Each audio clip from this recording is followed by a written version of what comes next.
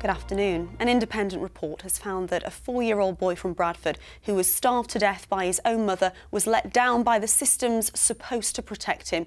It does, however, say that Hamza Khan's death could not have been predicted by the authorities. Hamza's body was left in his cot for nearly two years after he died.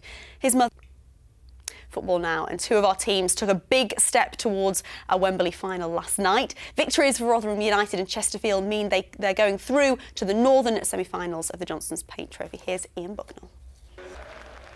Now, Children in Need is, of course, just around the corner. It's Friday, and we're having our very own event at the National Media Museum in Bradford.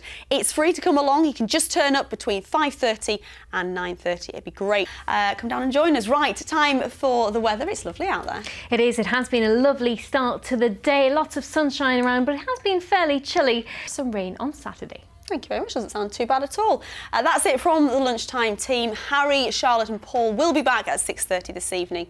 Enjoy your afternoon and we will see you at 6.30. Bye. Mm -hmm.